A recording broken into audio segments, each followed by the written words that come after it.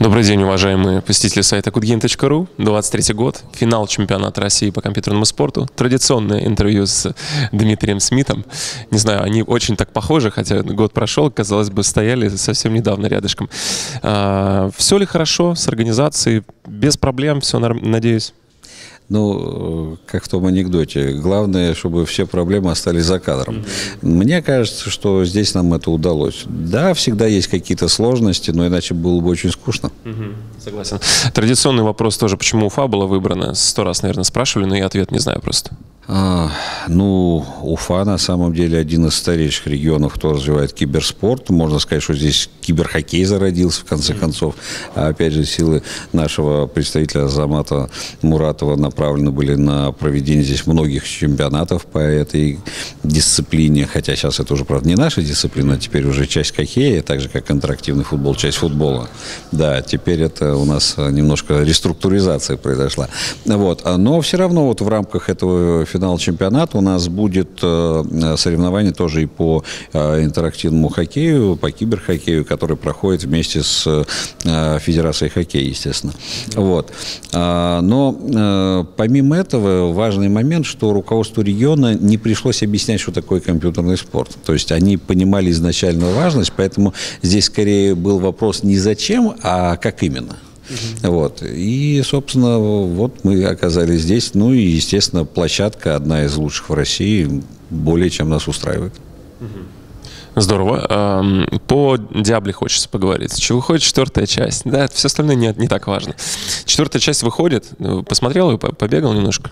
Честно говоря, только слышал, читал обзоры. Нет, э, мне очень интересно. Я большой фанат этой серии. Я вообще фанат Blizzard, а Diablo особенно. Я вот, как сейчас помню, какие были эмоции, когда я первый раз узнал, что есть хардкор. Хардкор это как вообще? То есть ты играешь, играешь, потом все кончилось. это было во вторую Диаблу вы, ты играл сам, проводили турнир. Расскажи чуть поподробнее. И будут ли какие-то планы на четвертую Диаблу? Посмотреть хотя бы стримчики, может, поучаствовать самому? А, а, действительно, мы играли много, и я лично играл во второй Диабло, и турниры проводили. Мы там сперва просто их проводили, потом делали серию Ball то есть когда там было 6 часов на прокачку, 2 на 2, а потом уже PvP составляющая, и э, там ребята за 6 часов, я помню, из Белоруссии приезжали, они до 80 какого-то уровня докачаться успели. Ну, то есть это было просто вау, это какой-то кошмар был. Вот. Вначале ни, никто не верил, что это не, нечестно, но потом посмотрели, все как аккуратно было. Вот. А, на новый Diablo, конечно, очень хочется посмотреть, попробовать. И, если честно, вот э, мне хочется снова возродить вот эту вот серию соревнований, когда там с одной стороны PvE составляющая, когда ты подбираешь себе персонажей, чтобы как можно быстрее прокачаться, одеть вещи и прочее, слаженность действий, четкие тайминги. А с другой стороны, вот это вот PvP э, составляющая, когда непонятно, кто будет у тебя соперником, насколько вообще к чему готовиться, какие комплекты с собой оружия брать, на что заточены. Мне очень нравилось. Ну, у нас э, будет онлайн-мероприятие 2 числа на GoodGame е. Призовой фонд, хорошо все.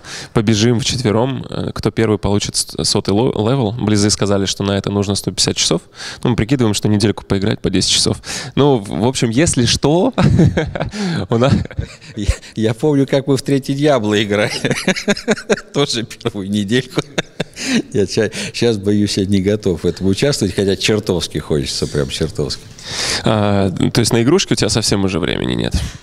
А, боюсь, что да. Сейчас э, время такое, что надо, как говорится, бежать со всех ног, чтобы оставаться на месте. А чтобы куда-то попасть, бежать приходится в два раза быстрее. А, грустно немножко, ну ладно. А, есть выход. В принципе, если бы ты в стриминг пошел, у тебя было бы всегда объяснение, что вот это я работаю, а вот вечером я стримлю. Слушай, это, это хороший лайфхак, но боюсь, вечером я тоже работаю. Могу только посочувствовать. Ладно, хорошо. Меня тут э, кто-то шеп... Я не буду говорить кто. А, сказал никнейм Асмодей.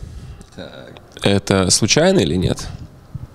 А, слушай, ну Серега недавно присоединился к нашему центральному офису, у нас О, теперь федерация работает, да. А это, ну, мне лично приятно, он, э, знаешь, э, очень Ну, он э, в основном в покер играл последние годы. Вот. Потом он э, женился, у него ребенок. Ну, то есть солидный уже мужик хотя выглядит. Э, вот реально практически не поменялся, на мой взгляд. Нет, э, для нас э, он ценное приобретение, потому что, с одной стороны, он вот еще живет вот этим вот духом киберспорта, а с другой стороны, он как бы смотрит на это немножко по-другому. То есть это не молодежь современная, которая вот оценивает это, но и не наш взгляд, который уже немножечко начинает походить на взгляд чиновников. Я слишком много с ними общаюсь.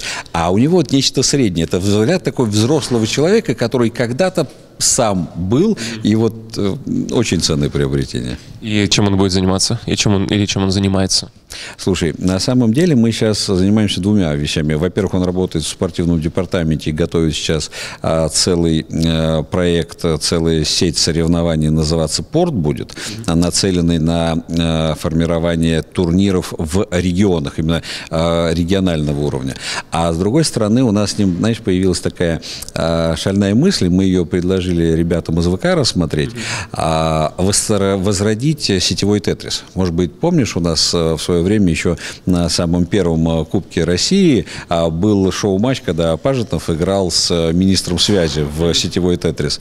Вот э, сейчас это практически умерло, но есть желание эту историю снова возродить. Вот опять же, изначально мы еще с Алексеем Валентиновичем Шемякиным на эту тему, хаос который, да, помнишь наверняка, вот, общались на эту тему. А сейчас, когда Серега пришел, это как бы последний камушек лег, и вот мы написали презентацию, презентацию сделали, расписали, как это сделать по механике, и предложили партнерам из ВК рассмотреть э, написание вот такой вот программы.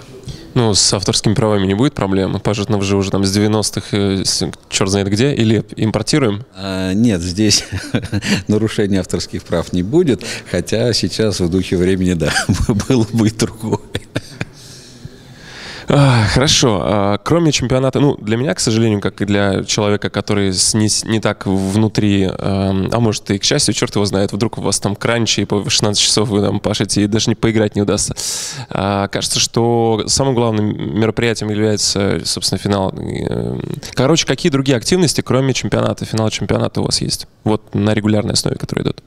Ну, у нас сейчас много флагманских мероприятий. Чемпионат, открытые киберигры, которые в конце года идут традиционно, а, студенческая лига, школьная лига. А, вот мы начали проводить международные студенческие соревнования, соревнования по стендов 2. Сейчас у нас огромные планы на эту игру, она мне лично очень нравится. Ну, это как Counter-Strike, только на мобилке. Вот. И, естественно, есть еще, ну, скажем так, в духе времени несколько международных соревнований, там стран БРИКС. Вот э, на следующей неделе э, мы хотим принять участие в Грозном будет празднование э, Дня интернета и хотим попробовать провести международные соревнования по Clash Royale ю, например. А, отлично. В прошлый раз не спросил. А, Warcraft 3 будет вместе с StarCraft? Вместо StarCraft можно как-то дисциплину поменять? Ну, игроки, конечно, по StarCraft молодцы, но как бы Warcraft тоже много. Это больной вопрос, вот ей-богу, больной вопрос. Зрителей было бы больше. Возможно, да. Э, с точки зрения наблюдений извне, Warcraft, он более интуитивно понятный, что ли, и более красочный. Э, честно скажу, этот вопрос мы каждый год рассматриваем. Может быть, в этот раз э, пойдем в этом направлении, но ты понимаешь, мне StarCraft как-то ближе, а так, ну, не знаю.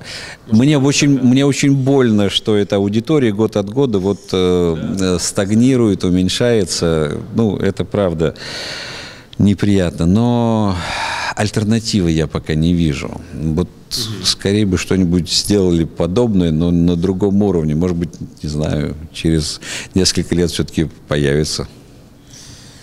Ну, будем надеяться. Мне кажется, что стратегии, к сожалению, изначально были нишевые, а когда они были вот в 97 8 9 году, как бы весь киберспорт был нишевым, и оно попало, и как бы все играли в это. А сейчас, учитывая, что есть гораздо более популярные командные дисциплины, мобильные дисциплины, мы тут по-любому будем проигрывать. Слишком высокий порог входа. Это, к сожалению, правда, но не знаю. Мне хочется верить, что вот пускай это будет и нишевая история, но она будет всегда э, пополняться молодыми ребятами. А это вот в последнее время происходит все реже и реже. Вот именно приток э, новой крови, нового интереса, э, он и является основным критерием. Это может быть нишевая история, но она будет живой. А вот сейчас я начинаю сомневаться, выживет эта тема в целом или нет. Ну, на этой радостной ноте, да, спасибо большое. Что-нибудь позитивное в конце, если хочешь. Ай, позитивное? ну, хорошо, давайте позитивное. А, ну, во-первых, я всем желаю следить за своим здоровьем. У нас на сайте Федерации... Не-не-не, и таким тоже. Но у нас на сайте Федерации появилась электронная брошюрка, как э, сохранить свое зрение, осанку и так далее. Вот. Ну и второе, соревнуйтесь сами с собой, чтобы вы завтрашние были лучше, чем вы вчерашний.